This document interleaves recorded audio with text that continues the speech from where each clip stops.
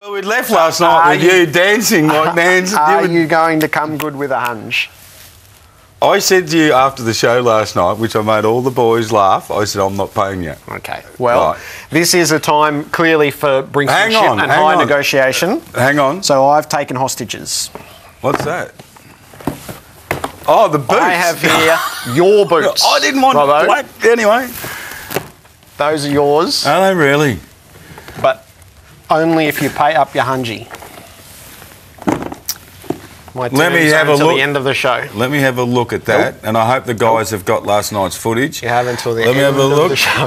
and I want to see that. Oh, oh, I missed it. I was looking at the boots. Can we run that again, please? Yep.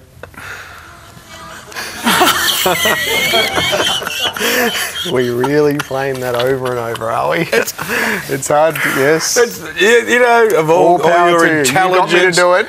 and minutia words I want and my everything you've done in 360, that was your best moment last night. Oh, you never knocked back a hundred. And now someone else is getting for your best. Shaking? So the you? only remaining question is, will Robbo come good with a hunt? right, I've got to give you a So it turns out that my little sister has let me know that I used to hold her stuff hostage to get what I wanted when Did you she was really? young too. So to get your boots, There you go. Angie, and that hundred dollars is going to go to the Simone Montgomery Fund. Is it really? So the oh, that's a who was killed Oh, in, so um, get something for yourself. get something for yourself. Go on, get something for the kids on the way. I feel violated. So it ends like this.